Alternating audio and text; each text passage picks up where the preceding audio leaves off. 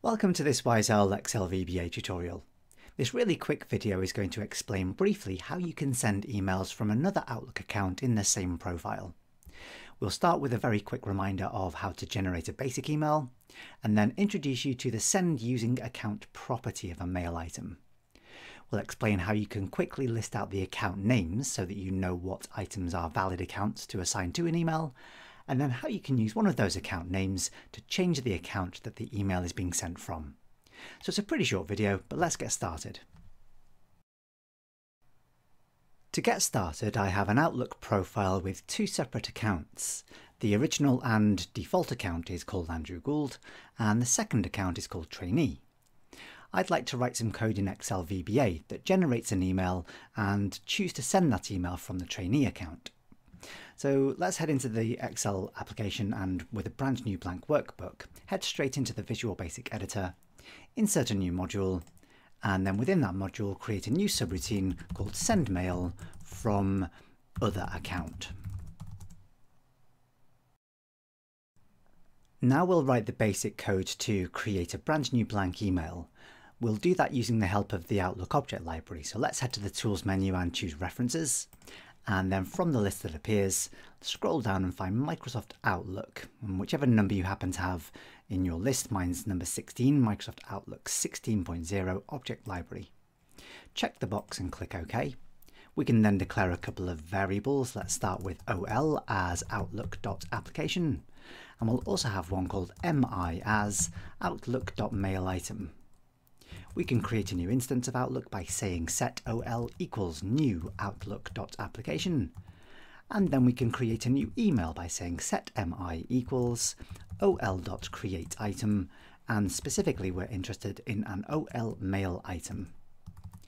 We can display the email object on screen by applying the display method to it, and we can also say set some of its basic properties, like its subject could be equal to, uh, I don't know, test other account.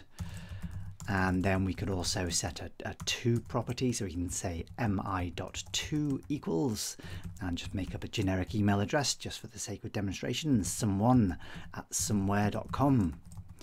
Uh, we could also apply some basic body text, I suppose. So mi.body equals, I won't bother writing out an entire email. Let's just start our email with Dear Someone.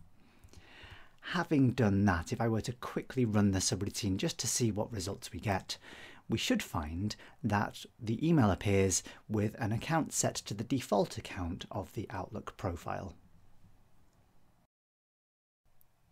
Now we need to change the account being used to send the email. Let's close down the existing one and we won't bother saving the changes. We can modify the account being used to send an email by using the send using account property. We can assign a value to this. The value must reference one of the accounts of your Outlook profile.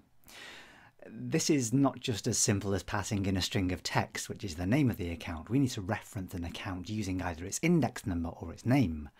So before we can really do this, what we'll need to do is work out what account names we have access to. Let's create a separate subroutine for this. List account names. And to make this work, we'll declare a new variable which can hold a reference to an Outlook application. And we'll also declare a variable which can hold a reference to an Outlook account, so dim AC as outlook.account. I can set a reference to a new instance of the Outlook application in the standard way. In fact, I could have just copied and pasted this code, but I've started so I'll finish. And then what I'd like to do is loop over the accounts collection belonging to the namespace of the Outlook application. So I can say for each AC in OL dot.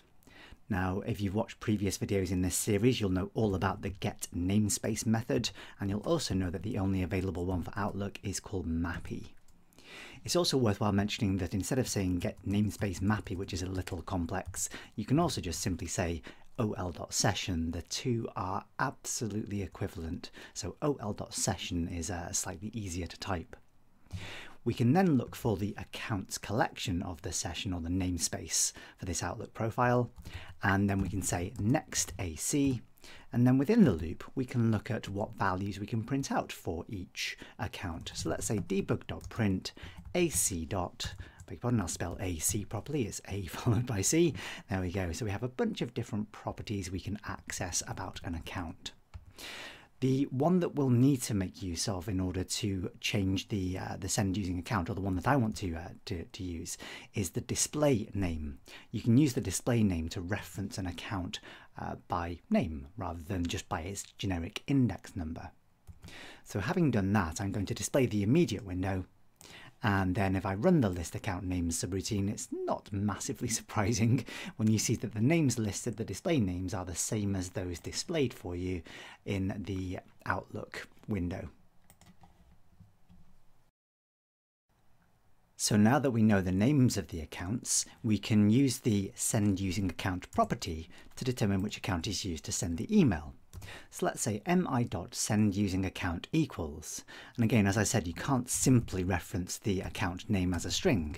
What you need to do is reference ol.session.accounts and then pass in the name of the account you're interested in or the display name of the account you're interested in in a set of parentheses and double quotes. So having done that, if I run this subroutine again, this time we should see that when the email appears, it's automatically assigned the trainee account as the sender of this email.